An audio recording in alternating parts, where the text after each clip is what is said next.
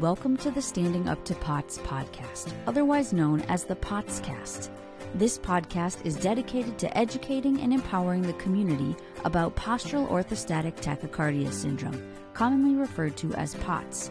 This invisible illness impacts millions, and we are committed to explaining the basics, raising awareness, exploring the research, and empowering patients to not only survive but thrive.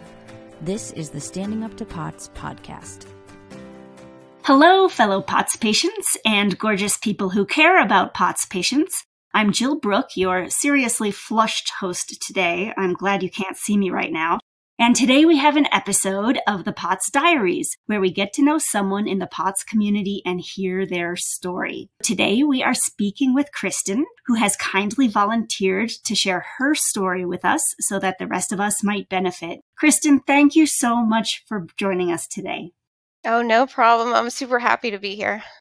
Can we have a little introduction to Kristen, some basics about you, whatever you want us to know for some upfront info? Sure. So I am 27 from Pittsburgh, Pennsylvania. I work at a national lab. It's kind of ironic that I was actually a tour guide for a while before the pandemic started. I'm also not great at science, but just shows that you can do anything if you put your mind to it. but I also coordinate proposals and outreach. I had an English degree, so I've always done more of the artsy, creative stuff. I'm actually writing a book I'm in the middle of trying to put the finishing touches on it now. I mean, that's a little background on me. I also live with my boyfriend and dog. The dogs are great. I agree. Wow, you have so much going on, and I'm excited to ask you about a lot of it. But first, we always make you say, what would your friends or family say about your personality? So I would say probably that they would say I'm very determined, that I always have been since a young age. I've always studied really hard for tests in school. I cried when we went on vacation. So it was like to an unhealthy point, but I didn't want to miss school. And yeah, also cried when I missed a point on a spelling test in like third grade. So I've always been a bit of a perfectionist in wanting to excel there. Again, probably creative with the writing and stuff. Also, probably like eccentric at times. I really like Funko Pop. I have like 150 Funko Pops. Are you talking yet about what your book is about, or is that private till it's all done? Oh, I can talk about it. I can give the gist. So it's kind of like a fantasy drama type thing. It's about this little girl, and when she dreams, she goes to what I'm calling a dreamscape. It has a bunch of people that have died. And when they touch her, just like a touch on the shoulder or whatever, she relives their death sequence and then they come back to life in the real world. Oh, wow. Uh, yeah. It's kind of like a whole lore around that. And then this other girl who's kind of like her guardian. That's the gist of the book. You sound like a very busy person. So, in between the schooling and the tour guiding and everything else, were you just kind of inventing this storyline in your head, building it up? Yeah, I've always been a go getter, always pushing to my limits, which is another thing that is hard with POTS because you kind of want to push past your limit. But yeah, wait, can we pause? Of course. I totally forgot the first half of the question. I did. No, I think I was actually going to just ask you about brain fog. So you want me to just do it again? Start the question over? Yeah, and then I can admit I had some brain fog. No, I think that would be great. I think that would be helpful. And also, you're such an achiever, I can tell. I think it would be amazing for people to see that you have accomplished all of this with brain fog. But anyway, I'll just start the question over. So, can I ask, with coming up with this whole storyline of the book, it sounds like you were very busy. You were in school, you were a tour guide, you were doing all this stuff. Did you just invent this whole storyline of your book as you were working? What was that process like? I don't know. I kind of was just sitting in class one day, my math class, so my less creative class. And my mind started to wander. Yeah, and I kind of just came up with this idea and then I kept building off of it. And I went a little off my friends as well and you know got their input so that was pretty valuable and i kind of just let it come to me as i started writing it Okay, so obviously you are an amazing achiever Can you talk to us about what was your first sign that anything was amiss with your health? So, there's kind of like different phases of my health. So, when I was really young, I was 12 years old, I got diagnosed with ulcerative colitis, which is an autoimmune disease. For those that don't know, it's like when your immune system attacks your colon. Basically, ended up with a bunch of bloody diarrhea. That's what it is. So I lost a lot of blood. I was in the hospital for a little bit, and my hemoglobin was down to like five, which is super low. I had to get some transfusions. I mean, the fatigue really started there, but um, that would later be expanded upon with POTS. And then another thing I should mention is I get brain fog all the time. so you could be a high achiever and still get brain fog, and I forget what I'm saying mid sentence. But anyway, okay, so back to the ulcerative colitis. But the thing about that is that it got under control like pretty quickly. And in hindsight, I feel like it definitely got under control quickly when I've been dealing with POTS because I mean they just put me on a medicine and I was I was pretty fine maybe took like a year or something to really stabilize after that. But I really don't have flare ups where I get all those symptoms again unless I'm off the medicine, which has happened like a few times. But other than that, I can like forget about it, which I wish could happen with POTS. so then after that, you know, I mean, it was pretty stable. And then it just seems like around high school or college, I started to get just really fatigued all the time, no matter how much I slept. I just didn't wake up refreshed. I didn't know what was wrong with me. I didn't think there was something seriously wrong. I'm just like, why don't I have energy? I don't get it. Like, what am I doing wrong? I'm trying to sleep. I tried all kinds of energy stuff, but I just never could oh. get any energy. And yeah, that's when like the brain fog started. I would just lose track of my thoughts. And looking back on it now, there are times where I definitely like went to lie down and then I would feel better. I didn't think about that at the time, but I definitely did that all the time. Like I would have like favorite napping spots in the Cathedral of Learning for the University of Pittsburgh. Anyone who's familiar with that school, it's like the big building. Yeah, fatigue was the worst and brain fog. And then things started to get really bad whenever I got prescribed this medicine called Canasa for my ulcerative colitis. So I think I had a really bad allergic reaction to it and I'm pretty sure it's what tipped off the POTS because I know a lot of POTS comes on from virus infections and stuff, but an allergic reaction is also like with your immune system. So I think that that could possibly be it. I wasn't on this medicine for very long. What really came from that, the first sign was the tinnitus. I've seen a correlation with POTS. Mm-hmm. The ringing in the ears yeah. for anybody who doesn't know that. So it really came on ringing. I'm like, where's that sound coming from? And then I just checked every room of the house. And then finally, I made it all quiet. And then I'm like, oh my gosh, it's coming from inside my head. Oh, yeah. It's like in the terror movie, the horror movie, when the voice is coming from within the house. Yes, exactly. And I told my doctor about it, and it was right around New Year's. And she's like, Wow, you really rang in the new year, didn't you? I'm like, Yeah. Oh. and I was also getting a really bad rash. It was a suppository. So it's right where it would be on the skin, like on my stomach, though. But I got so dizzy and vertigo all the time, just standing up or eating. The fatigue got so much worse. And I just felt like I needed to pass out all the time. The pre syncope feeling as I know it today. And then it just started getting worse because I didn't know what it was. So I kept taking the medicine, and the tinnitus was most bothersome at the time because it was so loud. Like I would be in a silent room and it would sound like there were fire engines rushing past me. Oh, wow. Yeah, I could not get rid of it. And finally, I got off the medicine and that went down, but it's like 4% what it once was. So, like, I still have tinnitus, but it's not as bad.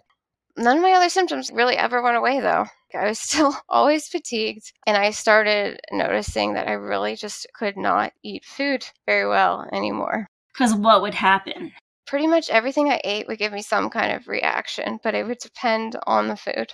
So if I ate a lot of carbs, I would get really pre syncope, eh, you know, feeling like I needed to pass out. I've never like actually passed out, but yeah, I just feel like I need to multiple times a day. Before I had any idea what POTS was or what was wrong with me, I would tell my friends, like, there's just not enough blood getting to my brain. Oh, so you knew it. You called it, even though he couldn't. yeah, and I had no idea why. I just didn't know how to describe the feeling. like it's just not it's just not getting to my brain. And they're like, "Are you sure? Do you have evidence to back this up?" Because it sounded crazy. and Mhm. you know, I'm a seemingly healthy looking young girl, but I have all these weird symptoms. So, I mean, there was a little bit of a time where I'm like, "Is this all in my head?" Oh, I was just wondering how long it took you to get a diagnosis. Like, how long were you going through all of these symptoms, wondering what the heck was up? long, long time. Probably six years about when it was really bad. So I just got diagnosed two months ago. Yeah, this has been such a, a hard struggle for me for years. Yeah. I feel like, am I supposed to say congratulations or I'm sorry? Like, I, I'm guessing you're very happy to have an answer. Congratulations for sure. But I get what you're saying. I was so happy because I had suspected it for a while. I can talk about how I first suspected POTS.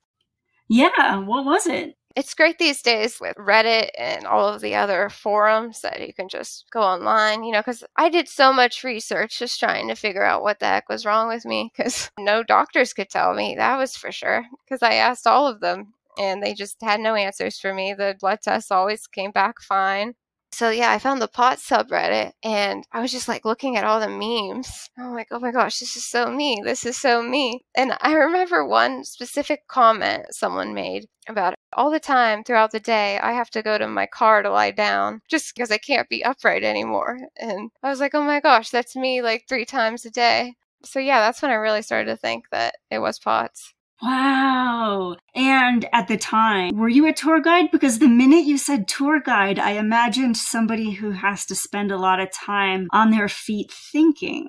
Yeah, so I was on tours probably on average like two or three times a week, and they'd be like an hour. It wasn't too bad, but some days were really bad when there was a lot of tours, and I'd have to be on my feet for like six hours a day. And that got really bad because there's some walking and then it's a bunch of standing. And when I stand, I don't really stand still. and I've done this forever. But I, I, think maybe subconsciously I was trying to help with my symptoms, but I'm always moving around, moving my feet, not really just standing still in place. So I would do that behind everyone so they couldn't see me. I should say for tour guides, so at a national lab, I lead them place to place, but then the researchers do the talking. So then I can just kind of hide in the back and no one looks at me until I take them to the next stop. So yeah, my blood pressure would get really low a lot of the time and it got hard for sure. Yeah. So I think before we started recording, you had mentioned about having to sneak off and lay down in a bunch of different places. Can you talk about that? So at work, I would go to my car or the women's restroom had like a locker room off to the side. People could go in and out of the bathroom and they wouldn't go to the locker room. They wouldn't notice me at all, basically and it was close to my office. So I would just go there to lie down and put my feet up on the wall. And again, this is all before I knew I had POTS. I just knew that like I couldn't function until I did this for 15 minutes and then like I'd go back and try to be okay. No one ever found me back there except for one time. This one lady came back and she kind of like jumped back and she did not expect to see someone just lying there. And I was like, it's a long story. I just have to lie here for like 10 to 15 minutes. And she's like, it's, it's fine. And she was, she just started walking away. Yeah. Okay, so you were dealing with ulcerative colitis, and then you were dealing with POTS, and then you were mentioning all these different reactions you were having to foods and things. What's your next suspicion? You had mentioned a doctor's appointment tomorrow? So I think I might also have mast cell activation syndrome because I've I've always reacted to like a lot of things. I feel like if you put me in a bubble, I might be okay. I can sometimes get my body to function normally, and that's great. I know a lot of people with POTS, they struggle with that at all. And yeah, I can function pretty great, but the smallest thing will just make me spiral. so, one funny story like, I've always reacted badly to scents. So I shared an office with this guy. So where I work, it's like two to three to an office. So it was just me and him in a closed door environment, this little space. And he wore the heaviest cologne you can imagine. everyone around him, you know, was like giving him looks and, you know, they would talk about it elsewhere. But like for me, it was a nightmare of being in there and not just because I couldn't stand the smell. I started coughing really bad. I sounded like I was coughing, like I had been smoking for 20 years. It was that bad. it started around him, but it then just became a part of my life, like every day for six weeks. I had to get on a steroid medicine to make it go down because I think, I don't know, my lungs were inflaming or something. It wasn't contagious because I never got anyone else sick. But yeah, I'm like, I'm allergic to my office mate. You have to get me out of there. And they did. oh, good. And then another thing to mention about that cough is I've gotten it three times. And the other two times is when I was just super emotional. I was like emotionally triggered. I cried a little too hard for my body to handle, I guess. well, that's interesting. They know that stress can be a mast cell trigger. So that's going to be interesting. I hope you get good answers tomorrow on that. Yeah, thanks. I mean, I know you won't get answers tomorrow. It'll, like everything, take probably too long to figure it out. Yeah, exactly. And you need to have a good doctor. I have some doctor stories as well. So I have a great cardiologist now that diagnosed me with POTS. But before that, uh, you know, when I was still trying to figure stuff out, I went to this neurologist and I did not have a good experience there. As soon as I got there, the nurses, when they found out that they would have to do a standing test for POTS, they got annoyed and started rolling their eyes. It was so rude. They didn't know what to do. They like took my heart rate and blood pressure when I wasn't even completely supine. And then they stood me up and I took it after like two to three minutes. And during this time, they started arguing with each other on how you actually do the standing test. Oh, no. So it was just a complete mess. And then the doctors, he tried to prescribe me anxiety meds. Oh. And then my PCP had messaged them because she believed me. So I have a great PCP. Messaged them like hoping me to start me on like a POTS medicine early, thinking it would help me. And then the PA that saw me was like, oh, yeah, I saw that and I didn't know how to respond. So I just ignored it and forgot about it. Oh, boy. Yeah. Yeah. Not a great doctor experience there. Since you did get your POTS diagnosis, have you been able to figure out things that have made you better? Like, was an explanation helpful for you in some way or another? Yeah, they put me on Midodrine, which really helped. So they started me on Florinef first, and that didn't help. But getting prescribed the Midodrine has definitely helped me, and I'm able to like tolerate some meals better. But since it took me so long to get a diagnosis, I was doctoring myself, you know, just doing self experiments, trying to see what worked for a really long time. So I already had my own regimen. to be honest, that really helped me.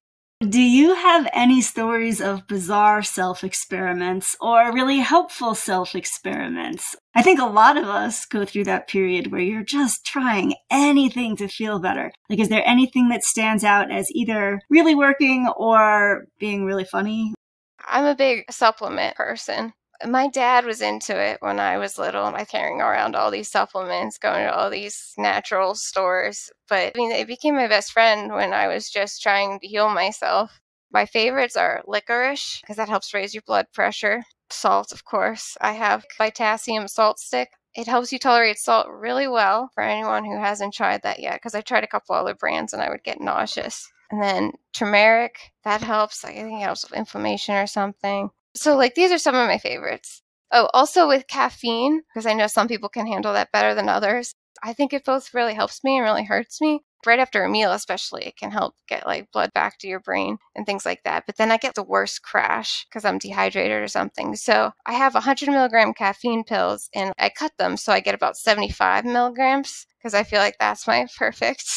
That's your perfect spot. Yeah. So that's kind of crazy. But anyway, then the funny thing is, I would bring the whole tote bag of pills to work with me because I wouldn't know what I would need that day. I kind of just, you know, took it as it came, whatever symptom I got. I'm like, oh, okay, I need to pass out. I should take some licorice, or I have lots of brain fog. I think maybe turmeric and also some licorice would help with that. And then one of my friends there started calling it my small to mid sized pharmacy that I would carry around with me. Whatever it takes, right? Yeah, right. What lifestyle things have helped you? I know you mentioned the pandemic actually was good for you lifestyle wise. Yeah. So again, this is before I really knew I had POTS when the pandemic started, but I definitely did. And really, the greatest thing that happened to me, the first thing I thought was, oh, I don't have to like run out to my car anymore or to the ladies' restroom. Like, I can just lie down on the couch whenever I feel like I need to pass out. Because it's just hard for me to just sit all day. I'm sure you know.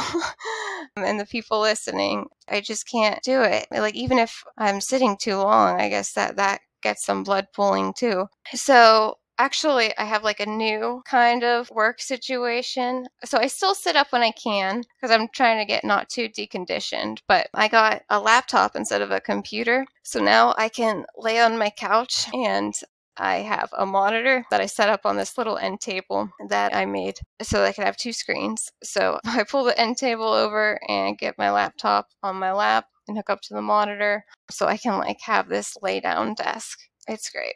Genius. Yes, thanks. Work has been good. So, actually, the only other person that I know of with POTS is my boss's son. Wow. So, my boss is very understanding of everything that I have to go through. That's excellent. Well, I was going to ask, what is the best type of support that friends or family can give you these days to help you live with this? Sure, yeah. First, you know, just believing me, which I never really struggled with too much, but I think we all kind of got that a little bit. You know, you're crazy. What do you mean there's no blood getting to your brain? So, yeah, that helps. And also just understanding if I can't just sit up anymore at the restaurant, I have to go lie down and kind of just letting me excuse myself or things like that, which they've been great with usually my boyfriend and I will watch a show over dinner or something, and then all of a sudden I can't sit up anymore. I can't even focus lying down. Like I have to focus on getting the blood back to my brain, as I say, and just kind of like close my eyes. And I can feel it move back to my brain, by the way. Interesting. What does it feel like? It just feels like it's going back. I don't know. It's so weird. It's like the same way I didn't know what the feeling was, except that there was no blood getting back to my brain. That's how it feels going wait, sorry, brain fog. I'm going to start over. So, the same way that I said that I couldn't, I didn't know what it was except for, oh my gosh, I just need, okay. Yeah, no trouble. And in fact, I don't even try to sit up while I do this podcast. I lay on my stomach for yeah. this very reason. I super understand. If you feel like. If I need to move, probably yeah, if you need to move, take a break, or find a different down. position, whatever you need to do. By the way, hopefully I'm not rambling too much. I tend to do that. No, not at all. And, you know, you can tell me how much of this you want cut out of the podcast or not. The people who like talking about their POTS journey the most are the people who have already come through the toughest part and, you know, the battle days are mostly over. And I always worry that the people at home need to hear more from people who are still in the thick of it and still dealing with the hard parts and so I'm always encouraging people to at least consider sharing the imperfections as much as they feel comfortable, because I think that's what people might actually relate to the most. Sure, as much as works for the podcast, because you probably don't want the whole thing me stumbling over my words. But so, are you laying down now? Yeah, I moved. All right. We're face to face, both laying on our stomachs. This is cool. Like, I've never actually talked to someone else with POTS, except on the internet. I don't know where they're all hiding here, but I mean, I think it's super undiagnosed, really. I'll just go back into saying what I was going to say. So, when I'm finished eating, I usually get a lot of bad symptoms and I need to go lie down and I'll tell him, oh, I need just like 10 minutes. Can we pause the show? And he'll go, we're not turning it back on for 15 minutes because he knows that like I need that extra time. Aw, yay. Yeah. And a lot of the times, especially in the beginning, I've gotten way better at it, but I was wasn't giving myself the time and I just didn't want to admit to myself that there was something really wrong. Like I just wanted to push through it. So it's always been hard for me because I, I don't know. I felt like I was giving up or something. Even if I'm like, I have to take a 15 minute break because I can't function anymore. I'm like, but why not? I should be able to just keep writing or keep working. So I've gotten a lot better at realizing that's just not possible all the time and to give myself those breaks instead of just suffering. That's great. Can I ask what gives you the strength to deal with all this? Like, do you have any coping mechanisms or anything like that? So I think a lot of it is just this light at the end of the tunnel mentality. I kind of just want it to all be better one day. I keep looking for a miracle solution, you know, and like I said, especially since I had that experience with my ulcerative colitis where it kind of just was managed perfectly with the medicine. I'm like, okay, I just need to find my POTS medicine and I'll be fine. And I don't know if that's really possible but I still have hope and I'm definitely getting better all the time. You know, every little thing that I try and just one step closer to really feeling better. So there's that. Also, I just research a lot of the time to try to heal myself. It's kind of cathartic in a way and it helps me find out new things. Like I've read so many scientific articles like I said, I was never a science person before this, but I know so much about a blood flow and POTS and autoimmune conditions. And I go to the doctor's office so prepared. So that's why it hurt even more when they just dismissed me because I'm like, I know I don't have a, a PhD, but I feel what's in my body. And trust me, I'm putting in the time trying to figure it out. Right. Yeah, and I can relate. It sort of seems like the one silver lining to some of this is it's so fascinating, right? Like autoimmunity is fascinating and blood flow is fascinating. And so at least as you're sitting there trying to solve your own mystery, it's it's very enriching. Yeah, I'm very interested in it now. And even with other people's health problems, I try to diagnose them now. Like it's become some kind of weird hobby. I'm just always telling them to try new things, or I'll like, I'll do a little Google searching on their behalf or something. Right. Well, so what are your favorite activities or hobbies these days? What are things that really work for you? So I still like to write and video games I've always loved. I think someone else that was on here once mentioned Animal Crossing. I also love Animal Crossing. She said it's just a simple game. I've never been one to be good at games that require a lot of fast thinking, and probably a lot of that has to do with the POTS. But I like my take turn games, as my boyfriend says. they're literally like, okay, you can do your move now, and then it's the other person's turn, even though they're like fighting games. I say with air quotes, or just like board games. So, yeah, anything that gives my brain time to think. I love reading, which probably makes sense with the writing. Netflix, of course, things like that. I love true crime docs and reality shows. Is there anything that you know now about living with POTS that you wish you had known sooner? Yeah. I mean, I would say what I said before about just kind of like giving myself permission to not be okay instead of just pushing through it. I think I could have saved myself lots of pain and misery when I could have just taken a break or done something else that I felt better doing. I don't know. At the time, it, that didn't even cross my mind, basically. I'm like, I don't know. Is there really something wrong with me? I don't know. I just have to keep pushing. I have to keep being a normal person all these other people are sitting up after a meal. Why can't I? Why can't I take a shower and just go about my life? Yeah, that's really all I ever wanted was to just like do an activity that causes me pain and I feel like I'm going to pass out and then just go about my life. But no, I like always feel like I'm going to pass out. I totally got distracted again. I get distracted a lot. That's okay. Has anything at all positive come from having POTS? Uh, well, I found the new hobby of researching and trying to cure myself, which I don't think I would have found otherwise. I mean, it, it's a stretch. I wish I didn't have POTS. And then there's another part of me that just realizes I can like overcome a lot now because living with a chronic illness, it's just there every day. And you just, you like have to find new ways to do things I don't know. I wouldn't really push myself if I didn't have this. But it's gotten to a point where it's been so long. Like, I really don't even really remember what life was like before. yeah. Are you up for a slightly fun speed round where we challenge your poor circulation deprived brain? Sure. Okay. What is your favorite way to get salt? I would say the SaltStick Vitassium thing again. What is the drink that you find the most hydrating? I really just drink water 24 7. Lots of water. I have a big 40 ounce bottle that I keep filling up just throughout the day. So, water. what is your favorite time of the day and why? Oh, night for sure, because my brain just works better.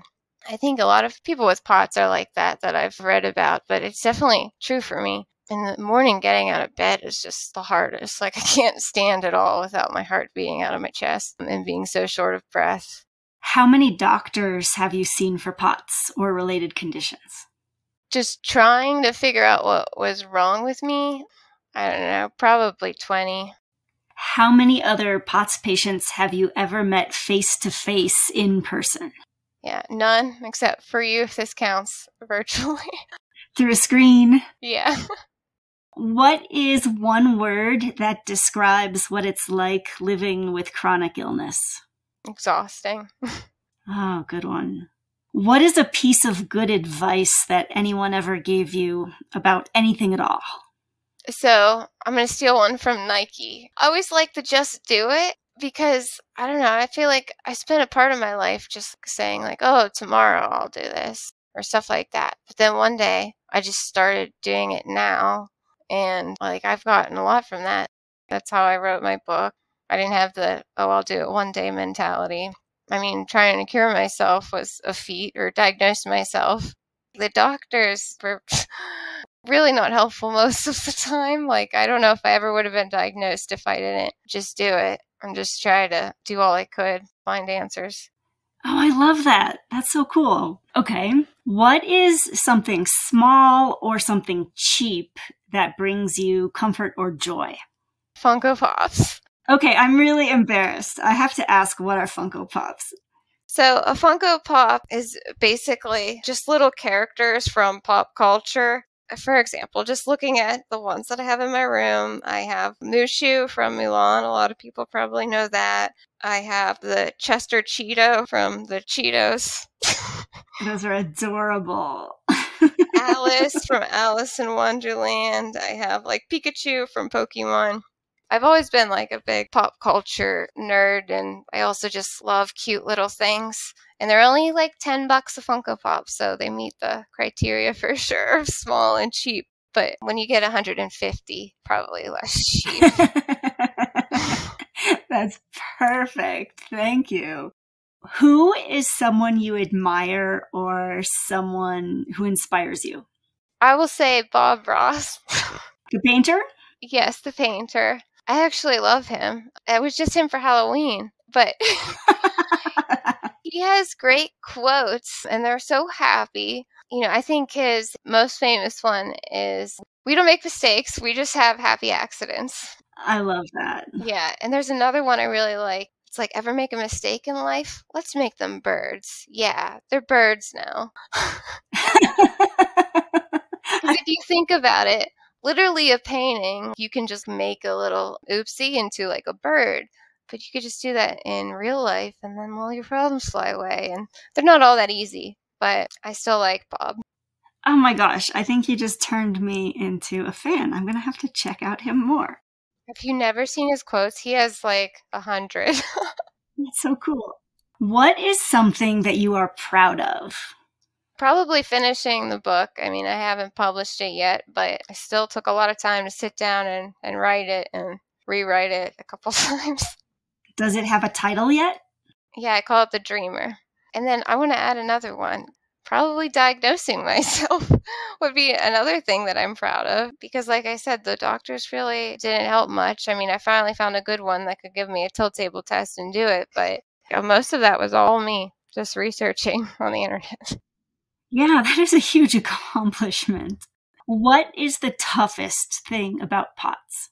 Probably just uh, that we live in an upright world and our bodies don't function like that. People don't realize that, but you're expected to sit in a chair or stand in a line, and there's just not always that opportunity to get away. What is something you're looking forward to? So there's nothing really specific that I'm looking forward to. I've always been kind of like a live in the moment kind of person. I mean, pretty much every day can excite me. I have this big long list of things that I want to do, games I want to play, and shows I want to watch. So there's nothing in particular that I'm looking forward to at the moment, but just living another day. That's great. Okay. What is something that you are grateful for? So I am grateful. I mean, my boyfriend's super supportive of everything that I do and he understands. And he has his own issues to deal with too. Like he has a lot of like breathing problems um, and anxiety. So I'm really grateful that we could be there for each other. And we're really not the healthiest batch of 20 something year olds, but we're getting by. that sounds so nice. Okay, last speed round question. Can you finish this sentence? People might suspect I'm a potsy when. I have to excuse myself from social situations to go lie down. yep, I can relate to that. I feel like I have spent a lot of time laying in cars while other people finished their dinners. Yes, me it too. Sounds like you have too. uh, yeah, my car is my go-to place because it's always there. I get worried if I'm not going to be able to get to my car. But just in recent years, I've just cared less and less. Like the last wedding I was at, I still went to the car after after the dinner. It was my boyfriend's cousin, so he was understanding. we just took a break and walked off. That's good. So I just have a couple more questions. What do you wish more people knew about POTS? Definitely, I wish they knew it existed. because, I mean, that's really the biggest hurdle to get by. Oh, wait, I have something else I wanted to say. I'll try to weave it into this. Okay, so I wish that more people knew it existed. I actually just went to get a new car recently, which was super exciting. But the guy that I was talking to that was helping me finance the car, you know, we were there for a while, so we got to talking, and I mentioned pots, and I started describing it, and he was like, "I think my wife has that." And then he started to say, yeah, like when she gets out of the shower, her feet are beet red. And I had just told him that's what mine look like because of all the blood pooling in the feet. And he said that she can't drink alcohol without getting the worst hangovers. And yeah, that's me too. Eh, so I was like, yeah, you should definitely tell her to get that checked out because it's just so undiagnosed that hopefully I helped her out and that she can get it. Because it sounds like she had like a sinus infection about a year ago and that she's been having these symptoms ever since. Wow, you might have saved her from going to like 20 doctors like you had to. I sure hope so. He should have given you that car. right? Oh my gosh. I know you mentioned that you've never met another POTS patient face to face in person. There's probably a few thousand POTS patients listening right now. Is there anything you'd want to say to them? Yeah, I mean, just don't give up, especially if you're one of the many that are still undiagnosed. Just keep pushing for new doctors because there are ones that will listen to you keep researching on the internet. I'm guessing we're not the only ones who do that because, you know, you can feel better. It's not just so hopeless that there's nothing you can do. Like, it's hard to live with, but there are many little life hacks. Like, I never go anywhere without my compression stockings now. You know, that's something simple that you don't even need a diagnosis for. You could just get online. But yeah, just keep trying. Last question Why did you agree to let us share your story today? Well, it's always good to get your story out there, and I hope that I can help other POTS patients like I did with the guy who financed my car's wife. And it just really needs more awareness. We shouldn't all have to suffer for years just because doctors don't know what it is. I think this podcast is really great. I've been listening pretty much since the beginning. I've heard all the episodes now, but yeah, you're just doing a great job really getting out just the awareness of POTS, which is what we need. Well, Kristen, thank you so much for your kind words and thank you for sharing your story and your insights with us. I have to thank you personally because when we started this, I was kind of in the middle of a scary mast cell reaction and I didn't know which way it was going to go. And I think talking to you helped me. so good. Thank you for that too. but we all really appreciate you. And I know everybody listening wishes you the best going forward. All right. Thank you. Hey, listeners, remember this is never medical advice, dental advice, spiritual, relationship, fashion, menu advice, any kind of advice. Consult your medical team about what's right for you. Please consider subscribing because it helps us get found by more people like you, and we really like people like you. So thank you for listening. Remember, you're not alone, and please join us again soon. You can find us wherever you get your podcasts or on our website, www.standinguptopots.org slash podcast. And I would add, if you have any ideas or topics you'd like to suggest, send them in. You can also engage with us on social media at the handle Standing Up to Pots. Thanks for listening, and we hope you join us. This show is a production of Standing Up to Pots.